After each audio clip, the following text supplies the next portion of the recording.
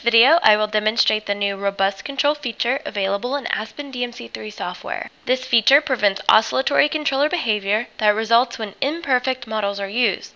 In reality, models are never perfect and the optimizer will jump from model to model looking for a better solution. This oscillatory behavior, also referred to as LP flipping or cycling, results in unsettling behaviors.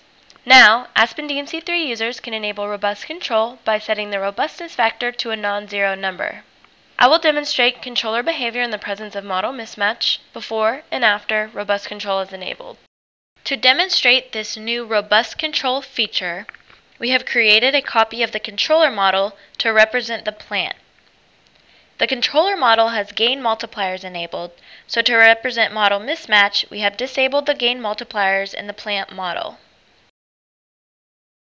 We are now ready to simulate the controller against the plant model to demonstrate the undesirable oscillatory behavior that results from this model inaccuracy.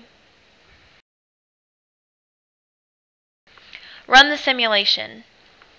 As the controller tries to move the controlled variables against their limits in order to optimize, cycling occurs. This cycling is the undesirable behavior that robust control prevents. Now, set the robustness factor to a non-zero number to turn on robust control. Run the simulation again. Notice that the oscillations have stopped and the LP targets have stabilized. Additionally, all controlled variables are close to their limits. One thing to note here is that, as always, there are some trade-offs.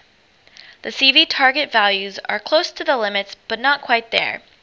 The amount of give up is based on how large the robustness factor is.